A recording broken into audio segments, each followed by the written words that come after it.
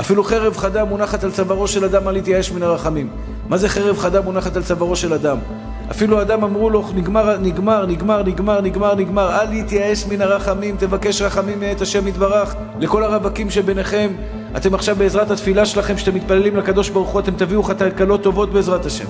לכל הרווקות אתם תביאו חתנים טובים, אתם וכל אלו שרוצים פרנסה, אני אומר לכם, לא יחסר לכם פרנסה, רק תדעו איך להתפלל לקדוש ברוך הוא. הסיבה הראשונה שאנחנו מתפללים, אחים יקרים שלי, כדי שאנחנו ניכנע.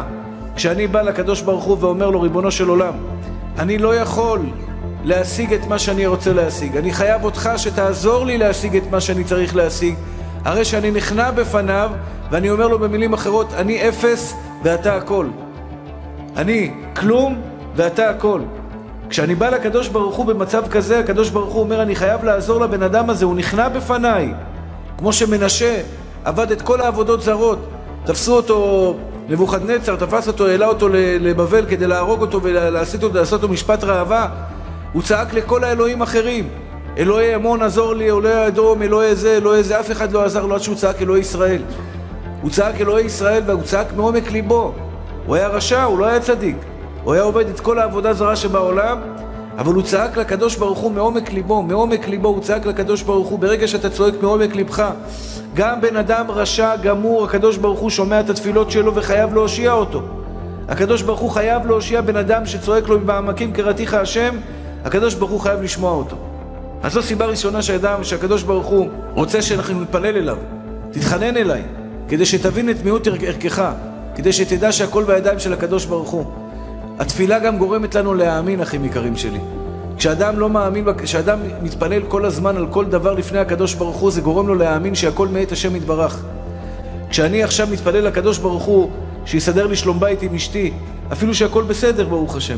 הכל מצוין. אבל אני מתחנן אליו שריבונו של עולם תצמיד את השלום בית שלי עם אשתי. לא כואבת לי הבטן, ברוך השם. אני אומר לקדוש ברוך הוא, ריבונו של עולם, תדאג שלא תכאב לי הבטן, שלא יכאב לי הגב, שלא יכאב לי העיניים, שלא יכאבו לי הרגליים. אז אני בעצם אומר לקדוש ברוך הוא, ריבונו של עולם, אני יודע. אני יודע שהכאבי רגליים זה בידיים שלך. אני יודע שהכאבי בטן בידיים שלך. אני יודע שהכאבי גב בידיים שלך.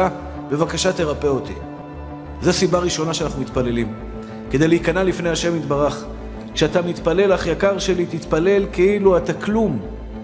כאילו אתה מתחנן לקדוש ברוך הוא ואתה בא ממקום הנמוך ביותר בעולם. הוא חייב לשמוע את התפילות שלך כשאתה מתפלל אליו בצורה כזאת. למה? כי זה הסיבה של התפילה. זו הסיבה שהקדוש ברוך הוא ציווה עלינו להתפלל כדי שניכנע בפניו. הוא מתחנן לקדוש ברוך הוא, ריבונו של עולם, רק אתה יכול להושיע אותי, אני לא יכול להושיע אף אחד. שום רופא בעולם לא יכול להושיע אותי. שום כלכלן בעולם לא יכול לתת לי פרנסה. ואחים יקרים, אני עושה את זה כל יום. כל יום אני מתחנן לקדוש ברוך הוא. עכשיו הראו לי דוח, 500 אלף שקל הוצאות יביע עומר. 600 אלף שקל הוצאות יביע עומר. כולל הבניין. חלק מהבניין.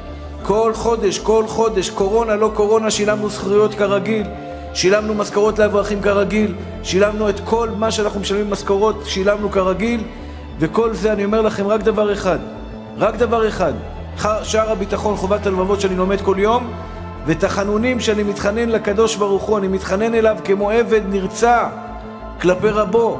ריבונו של עולם תושיע אותי, ריבונו של עולם תציל אותי, ריבונו של עולם אין לי למי לפנות, רק אליך יש לי למי לפנות.